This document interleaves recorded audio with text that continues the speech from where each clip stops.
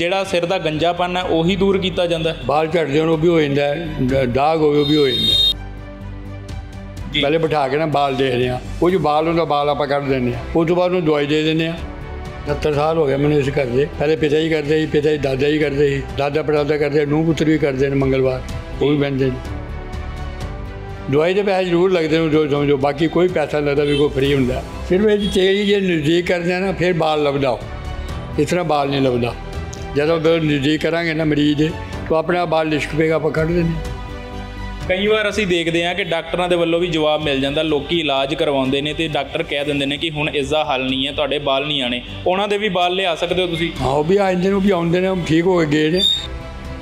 ਸੋ ਦਵਾਈ ਕਿਹੜੀ ਹੈ? ਤੁਸੀਂ ਕੀ ਦਿੰਦੇ ਹੋ ਉਸ ਤੋਂ ਬਾਅਦ? ਜਿਵੇਂ ਹੁਣ ਤਾਂ ਤੁਸੀਂ ਤੇਲ ਦੇ ਨਾਲ ਕਰ ਦਿੱਤਾ।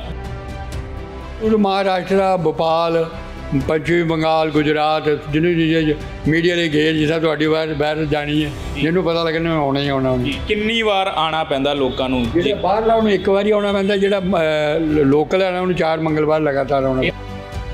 ਲੋਕਾਂ ਨੇ ਜੇਕਰ ਆਣਾ ਹੋਵੇ ਕਿਹੜੇ ਦਿਨ ਤੁਸੀਂ ਬਹਿੰਦੇ ਹੋ ਤੇ ਕਿੰਨੇ ਵਜੇ ਤੋਂ? ਐਡਰੈਸ ਕੀ ਹੈ ਬਾਬਾ ਜੀ? ਕਿਹੜੀ ਜਗ੍ਹਾ ਤੇ ਤੁਸੀਂ ਬਹਿੰਦੇ ਹੋ? ਤਾਂ ਸਮਰ ਨਿਊਜ਼ ਦੇਖਣ ਵਾਲੇ तमाम ਦਰਸ਼ਕਾਂ ਦਾ ਮੈਂ ਦੀਪਕ ਕਤਿਆਲ ਸਵਾਗਤ ਕਰਦਾ ਕੁਝ ਲੋਕ ਲੋਕਾਂ ਦੇ ਲਈ ਰੱਬ ਸਾਬਤ ਹੋ ਜਾਂਦੇ ਨੇ ਜਦੋਂ ਉਹਨਾਂ ਦੀ ਬਿਮਾਰੀ ਦਾ ਇਲਾਜ ਨਾ ਹੋ ਸਕੇ ਜੇਕਰ ਉਹ ਉਹਨਾਂ ਦੀ ਬਿਮਾਰੀ ਦਾ ਇਲਾਜ ਹੋ ਜਾਵੇ ਤਾਂ ਲੋਕਾਂ ਦੇ ਵਾਸਤੇ ਉਹ ਰੱਬ ਹੀ ਮੰਨੇ ਜਾਂਦੇ ਨੇ ਸੋ ਕੁਝ ਅਜਿਹੇ ਸ਼ਖਸ ਦੇ ਨਾਲ ਤੁਹਾਨੂੰ ਮਿਲਵਾਉਣ ਜਾ ਰਹੇ ਹਾਂ ਜੋ ਕਿ ਬਾਲਾਂ ਦਾ ਇਲਾਜ ਕਰਦੇ ਨੇ ਜੇਕਰ ਗੰਜਾਪਨ ਹੈ ਲੋਕ ਜਿਹੜੇ ਨੇ ਕਾਫੀ ਜਗ੍ਹਾ ਤੋਂ ਦਵਾਈਆਂ ਲੈ ਕੇ ਵੀ ਜਿਹੜਾ ਹੈ ਉਹਨਾਂ ਦਾ ਬਾਲ ਜਿਹੜੇ ਆ ਨਹੀਂ ਆ ਪਾਉਂਦੇ ਸੋ ਇਹ ਬਾਬਾ ਜੀ ਨੇ ਜਿਹੜੇ ਇਹਨਾਂ ਨੂੰ ਬਖਸ਼ ਹੈ ਤੇ ਇਹਨਾਂ ਦੇ ਵੱਲੋਂ ਜਿਹੜਾ ਹੈ ਸਿਰਫ ਉਹਨਾਂ ਨੂੰ ਇੱਥੇ ਪਹੁੰਚਣਾ ਹੈ ਤੇ ਸਿਰ ਦੇ ਉੱਤੇ ਇੱਕ ਤੇਲ ਲਗਾਉਂਦੇ ਨੇ ਤੇ ਉਹਦੇ ਨਾਲ ਜਿਹੜੇ ਬਾਲ ਆ ਜਾਂਦੇ ਨੇ ਗੱਲਬਾਤ ਕਰਦੇ ਆ ਬਾਬਾ ਜੀ ਕੀ ਨਾਮ ਹੈ ਜੀ ਤੁਹਾਡਾ? ਕ੍ਰਿਸ਼ਨ ਲਾਲ। ਜੀ। ਬਾਬਾ ਜੀ ਇਹ ਕਿੰਨੇ ਸਮੇਂ ਤੋਂ ਜਿਹੜੀ ਤੁਸੀਂ ਸੇਵਾ ਕਰਦੇ ਆ ਰਹੇ ਹੋ? 70 ਸਾਲ ਹੋ ਗਏ ਮੈਨੂੰ ਇਸ ਘਰ ਦੇ। ਪਹਿਲੇ ਪਿਤਾ ਜੀ ਕਰਦੇ ਸੀ ਪਿਤਾ ਜੀ ਦਾਦਾ ਜੀ ਕਰਦੇ ਸੀ। ਦਾਦਾ ਪੜਦਾਦਾ ਕਰਦੇ ਨੂੰ ਪੁੱਤਰ ਵੀ ਕਰਦੇ ਨੇ ਮੰਗਲਵਾਰ ਉਹ ਵੀ ਬੰਦੇ ਨੇ। ਜਿਵੇਂ ਤੁਸੀਂ ਕਹਿ ਰਹੇ ਹੋ 70 ਸਾਲ ਹੋ ਗਏ ਤੁਹਾਨੂੰ ਤੁਹਾਡੀ ਉਮਰ ਕਿੰਨੀ ਹੋਣੀ ਹੈ? ਮੇਰੀ 83 ਸਾਲ ਦੀ ਉਮਰ ਹੈ ਜੀ। 83 ਸਾਲ ਦੀ ਉਮਰ 70 ਸਾਲ ਹੋ ਗਏ ਤੇ ਤੁਹਾਡੇ ਦਾਦੇ ਪੜਦਾਦੇ ਵੀ ਜਿਹੜਾ ਇਸ ਬਖਸ਼ ਬਖਸ਼ ਜਿਹੜੀ ਹੈ ਸੇਵਾ ਕਰਦੇ ਆ ਰਹੇ ਇਸ ਤਰ੍ਹਾਂ ਨਹੀਂ ਕਰਦੇ ਆ ਰਹੇ। ਜੀ। ਸੋ ਸਿਰਫ ਜਿਹੜਾ ਸਿਰ ਦਾ ਗੰਜਾਪਨ ਹੈ ਉਹੀ ਦੂਰ ਕੀਤਾ ਜਾਂਦਾ ਹੈ? ਬਾਲ ਝੜਦੇ ਹੋਣ ਉਹ ਵੀ ਹੋ ਜਾਂਦਾ ਦਾਗ ਹੋਵੇ ਉਹ ਵੀ ਹੋ ਜਾਂਦਾ। ਜੀ। ਸੋ ਕਿਵੇਂ ਕਰਦੇ ਕਿਵੇਂ ਹੋ ਇਲਾਜ ਕਿਵੇਂ ਕਰਦੇ ਹੋ ਕੀ ਹੁੰਦਾ ਕੀ? ਪਹਿਲੇ ਬਾਲ ਦੇਖਦੇ ਆ। ਪਹਿਲੇ ਬਿਠਾ ਕੇ ਨਾ ਬਾਲ ਦੇਖਦੇ ਆ ਉਹ ਜੋ ਬਾਲ ਹੁੰਦਾ ਬਾਲ ਆਪਾਂ ਕੱਢ ਦਿੰਦੇ ਆ ਉਸ ਤੋਂ ਬਾਅਦ ਉਹਨੂੰ ਦਵਾਈ ਦੇ ਦਿੰਦੇ ਆ ਦਵਾਈ ਦੇ ਪੈਸੇ ਜ਼ਰੂਰ ਲੱਗਦੇ ਨੇ ਜੋ ਸਮਝੋ ਬਾਕੀ ਕੋਈ ਪੈਸਾ ਨਹੀਂ ਲੱਗਦਾ ਵੀ ਕੋਈ ਫ੍ਰੀ ਹੁੰਦਾ। ਕੋਈ ਉਹਦੇ ਕੋਈ ਲੈਣ ਦੇਣ ਨਹੀਂ ਕੋਈ ਦੀਵੇ ਦਾ ਜਾਂ ਕੋਈ ਦਾ ਕਿਸੇ ਨੂੰ ਹੁੰਦਾ ਨਾ ਚਲੋ ਦੀਵਾ ਜਗਾਇਆ ਜਾ ਦੇਖਿਆ ਹੋਏਗਾ ਉਹ ਬਿਲਕੁਲ ਨਹੀਂ ਹੈਗਾ। ਜੀ। ਸੋ ਇਹ ਜਿਹੜਾ ਤੁਸੀਂ ਦੀਵਾ ਜਗਾਇਆ ਹੋਇਆ ਮੈਂ ਦੇਖ ਰਿਹਾ ਇਸ ਦੇ ਵਿੱਚ ਕੀ ਹੈ? ਤੇਲ ਹੀ ਹੈ ਸਿਰਫ? ਸਿਰਫ ਇਹ ਤੇਲ ਹੀ ਜੇ ਨਜ਼ਦੀਕ ਕਰਦੇ ਆ ਨਾ ਫਿਰ ਬਾਲ ਲੱਭਦਾ। ਇਸ ਤਰ੍ਹਾਂ ਬਾਲ ਨਹੀਂ ਲੱਭਦਾ। ਜਦੋਂ ਉਹ ਨਜ਼ਦੀਕ ਕਰਾਂਗੇ ਨਾ ਮਰੀਜ਼ ਦੇ ਤਾਂ ਆਪਣੇ ਆਪ ਬਾਲ ਲਿਸ਼ਕ ਪਏਗਾ ਆਪਾਂ ਕੱਢ ਦਿੰਦੇ ਜੀ। ਬਸ ਇੰਨਾ ਹੀ ਕੰਮ ਹੈ। ਜੀ। ਸੋ ਲੋਕਾਂ ਨੇ ਜੇਕਰ ਆਣਾ ਹੋਵੇ ਕਿਹੜੇ ਦਿਨ ਤੁਸੀਂ ਬਹਿੰਦੇ ਹੋ ਤੇ ਕਿੰਨੇ ਵਜੇ ਤੋਂ ਕਿੰਨੇ ਵਜੇ ਤੱਕ? ਮੰਗਲਵਾਰ ਤਾਂ ਸਵੇਰੇ 6 ਵਜੇ ਲੈ ਕੇ ਰਾਤ ਦੇ 8 ਵਜੇ ਤੱਕ ਹੁੰਦਾ 8 ਦੇ ਵੀ 8:30 ਹੋ ਜਾਂਦੇ ਨੇ। ਐਤਵਾਰ ਸਵੇਰੇ 6 ਵਜੇ ਲੈ ਕੇ 2 ਵਜੇ ਤੱਕ। ਉਹ ਬਾਹਰ ਲਿਆ ਸਕਦੇ ਲੋਕਲ ਵੀ ਆ ਜਾਂਦੇ ਨੇ ਵਿੱਚ।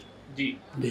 ਸੋ ਕਿੰਨੀ ਵਾਰ ਆਣਾ ਪੈਂਦਾ ਲੋਕਾਂ ਨੂੰ? ਜਿਹੜੇ ਬਾਹਰ ਲਾਉਣ ਨੂੰ ਇੱਕ ਵਾਰੀ ਆਉਣਾ ਪੈਂਦਾ ਜਿਹੜਾ ਲੋਕਲ ਹੈ ਨਾ ਉਹਨੂੰ ਚਾਰ ਮੰਗਲਵਾਰ ਲਗਾਤਾਰ ਆਉਣਾ ਪੈਂਦਾ। ਇਦਾਂ ਕਿਉਂ ਜੀ? ਜਿਹੜਾ ਲੋਕਲ ਆ ਉਹਨੂੰ ਚਾਰ ਵਾਰ ਤੇ ਬਾਹਰ ਵਾਲੇ ਨੂੰ ਇੱਕ ਵਾਰ ਦੂਰ ਵਾਲੇ ਵਾਸਤੇ ਬੜੇ ਪੈਸੇ ਖਰਚ ਕੇ ਆਉਣੇ ਹੁੰਦੇ ਨੇ। ਜੀ। ਕਿ ਕਈ ਕਈ ਦੂਰੋਂ ਮ- ਸੋ ਮ- ਉਹਨਾਂ ਦਾ ਹੱਲ ਹੋ ਜਾਂਦਾ ਜਿਹੜੇ ਇੱਕ ਵਾਰ ਆਂਦੇ ਬਿਲਕੁਲ ਬਿਲਕੁਲ ਇੱਕ ਵਾਰੀ ਹੋ ਜਾਂਦਾ ਠੀਕ। ਬੜੇ ਦੁਨੀਆ ਠੀਕ ਹੋਈ। ਜੀ। ਹਾਂਜੀ। ਮਹਾਰਾਸ਼ਟਰ ਵਾਜ ਦੋ ਆਏ ਨੇ ਉਹ ਕਿੱਥੀ ਦਵਾਈ ਲੈ ਗਏ ਨੇ ਘਰਾਂ ਦੀ। ਮਗਰ ਲੈ ਜਾਓ ਬੇਸ਼ੱਕ ਬੜੀ ਖੁਸ਼ੀ ਦੀ ਗੱਲ। ਜੀ। ਉਹ ਕਹਿੰਦੇ ਠੀਕ ਹੈ ਸਾਡੇ ਦੋ ਦੋ ਲੜਕੇ ਠੀਕ ਹੋਏ ਨੇ ਅਸੀਂ ਹੋਰ ਵੀ ਤੂੰ ਸਾਨੂੰ ਆਸ ਹੈ ਠੀਕ ਹੋਣਗੇ। ਕਈ ਵਾਰ ਅਸੀਂ ਦੇਖਦੇ ਹਾਂ ਕਿ ਡਾਕਟਰਾਂ ਦੇ ਵੱਲੋਂ ਵੀ ਜਵਾਬ ਮਿਲ ਜਾਂਦਾ, ਲੋਕੀ ਇਲਾਜ ਕਰਵਾਉਂਦੇ ਨੇ ਤੇ ਡਾਕਟਰ ਕਹਿ ਦਿੰਦੇ ਨੇ ਕਿ ਹੁਣ ਇਸ ਦਾ ਹੱਲ ਨਹੀਂ ਹੈ, ਤੁਹਾਡੇ ਬਾਲ ਨਹੀਂ ਆਣੇ ਉਹਨਾਂ ਦੇ ਵੀ ਬਾਲ ਲਿਆ ਸਕਦੇ ਹੋ ਤੁਸੀਂ? ਹਾਂ, ਉਹ ਵੀ ਆ ਜਾਂਦੇ ਨੇ, ਉਹ ਵੀ ਆਉਂਦੇ ਨੇ, ਉਹ ਠੀਕ ਹੋ ਕੇ ਗਏ ਨੇ। ਡਾਕਟਰ ਹੁਣ ਮੈਂ ਪਾਣ ਲੱਗ ਪਿਆ, ਕੀੜਾ ਦੱਸਣ ਲੱਗ ਪਿਆ। ਕੀੜਾ ਕੋੜਾ ਕੋਈ ਨਹੀਂ ਹੁੰਦਾ। ਕੀੜਾ ਬਿਲਕੁਲ ਬਿਲਕੁਲ ਦਾ ਬਾਲ ਹੀ ਹੁੰਦਾ ਵਿੱਚ ਐਸਾ, ਉਹਨੂੰ ਇਹ ਚੀਜ਼ ਦਾ ਇਲਮ ਹੀ ਨਹੀਂ ਹੈਗਾ।